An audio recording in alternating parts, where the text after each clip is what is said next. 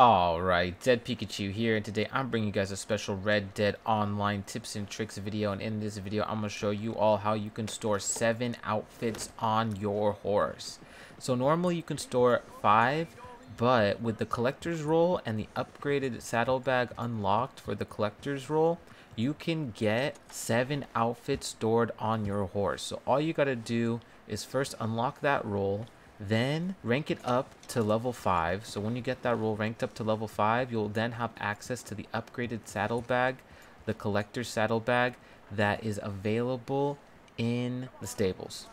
So go to any stables and equip that bag for $125. You'll have to purchase it and you can have seven outfits stored on your horse. So let me go into the stables and show you how to do that. Okay, so now that I'm in the stables, you just go to one of your horses. So manage own horses.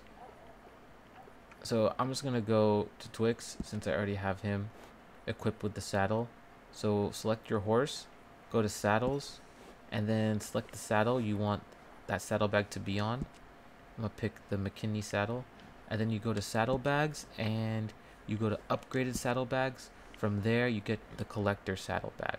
Like I said, you need to have the collector role and then rank it up to rank 5 to unlock this saddlebag and you'll purchase it for $125 and after you get that you'll be able to have seven outfits stored on your horse. So let me show you that as well. Okay so I switched over to this horse here and it has the collector's saddlebag equipped on it so with those saddlebags equipped on the side right there, I can now have seven outfits on my horse. So let's go into a wardrobe and do that. You can have access to the wardrobe from any general store or your camp. So now that I'm in the outfits here, I'm going to select outfit.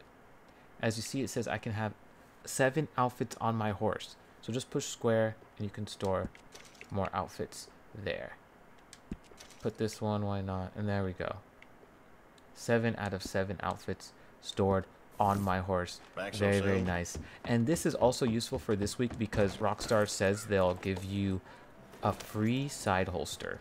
So that free side holster will be a nice bonus to have, as well as being able to access seven different unique outfits at any time in the game, which is really, really cool. Okay, so the only downside to this is that if you switch to any other saddle bag, other than the collector saddlebag, you'll lose the seven outfits on your horse. That's the only downside to it.